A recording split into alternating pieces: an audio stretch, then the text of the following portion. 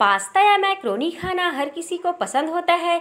और आज मैं आपके लिए लेकर आई हूँ बहुत ही मज़ेदार, बहुत ही स्पेशल रेसिपी इसे बनाना बहुत आसान है और टेस्ट में लाजवाब है। तो आप इस वेजिटेबल पास्ता की रेसिपी को ज़रूर ट्राई करें और वीडियो पसंद आए तो लाइक सब्सक्राइब और शेयर ज़रूर से करिएगा। तो चलिए फटाफट से इस रेसिपी को बनाते हैं। तो मैंने यहाँ पर लिया है पानी, इसमें जाएगा थोड़ा सा ऑयल अब पानी में उबाल आने का हम वेट करेंगे। पानी में अच्छे से उबाल आ जाने के बाद ही हम इसमें पास्ता को डालना है। पास्ता अलग अलग शेप में मिलता है। मैंने ये मैक्रोनी वाला पास्ता लिया है।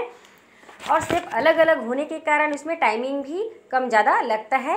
ये मैक्रोनी पास्ता है, जल्दी बॉईल हो जाता है। इसमें लगभग पाँच मिनट के आसपास लगता है।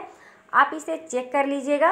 ये देखिए, इस तरीके से इसे चेक कर लीजिए। यहाँ पर जो है मैक्रोनी पास्ता बॉईल हो गया है। आपको मैं दिखा देती हूँ, कट करके इजीली कट हो रहा है और इसे हमें एकदम से ज़्यादा नहीं पकाना है। बिल्कुल एटी परसेंट तक इसको पकाना है। बाकी का जो कसर है सॉसेस में पक जाएगा। अब मैं यहाँ पर ले रही हूँ थोड़ा सा ऑयल अब इसमें जाएगा लहसुन एक चम्मच और एक चम्मच अदरक।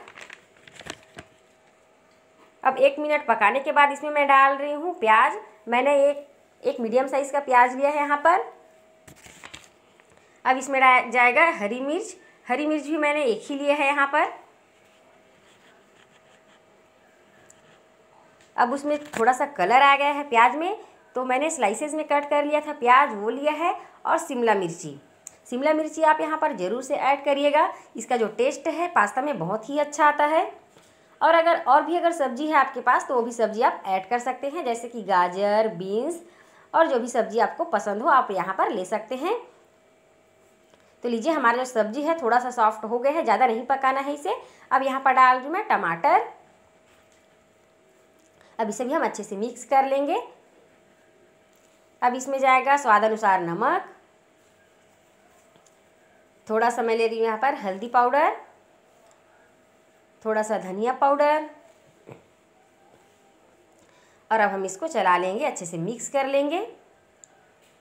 और जो टमाटर है, अच्छे से मेल्ट होने तक हम इसको पकाएँगे। अब इसमें जाएगा सॉसेस। तो मैंने यहाँ पर लिया है टोमेटो केचप, दो से तीन चम्मच। अब इसमें जाएगा red chilli sauce. Red chilli sauce मैंने यहाँ पर थोड़ा सा लिया है, आधा चम्मच के करीब। क्योंकि मैंने हरी मिर्च भी यहाँ पर ऐड किया है इसमें। और अगर आप थोड़ा तीखा खाना पसंद करते हैं तो आप मिर्ची और भी ऐड कर सकते हैं। अब इसमें डाल रही हूँ थोड़ा सा पानी और पानी डालने के बाद हम इसे पकाएँगे। तो लीजिए मैं इसमें बहुत ही अच्छे से बॉईल आ गया है, बहुत ही अच्छे से अच्छे से हमारा जो सॉसेस है पक गया है।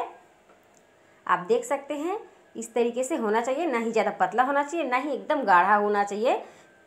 बिल्कुल इसी कंसिस्टेंसी में होना चाहिए ताकि हमारा जो पास्ता है, अच्छे से ग्रेवी में लटपट जाए, एकदम लटपटी सी बने। मैंने पास्ता को बॉईल करने के बाद इसे निकाल करके ठंडे पानी से वॉश कर लिया था, ताकि ये ओवर कुकिंग ना हो। अब इसको हम यहाँ पर डाल देंगे। मसाले में हम पास्ता को डालेंगे और इसे अच्छे से हम मिक्स कर लेंगे। तो ये देखिए, मैंने यहाँ पर मिक्स कर लिया है। लग रहा है ना, बहुत ही अच्छा। तो लीजिए, हमारा जो पास्ता बन गया है, अब ऊपर से डाल देंगे हम धनिया पत्ती। आप देख सकते हैं इस ग्रेवी में कितने अच्छा से लटपट गया है, बहुत ही देखने में कितना स्वादिष्ट लग रहा है। तो खाने में तो आप पूछिए ही मत, बहुत ही स्वादिष्ट बना है। आप इसे एक बार ज़रूर से ट्राई करिएगा, आपको बहुत ही पसंद आने वाला है, बहुत ही टेस्टी लगता है। तो अगर आपको मेरी वीडियोस अच्छे लगते हैं तो आप मुझे लाइक सब्सक्राइब व शेयर ज़रूर कर दीजिएगा। तो मिलते हैं नेक्स्ट वीडियो में एक नई रेसिपी के साथ।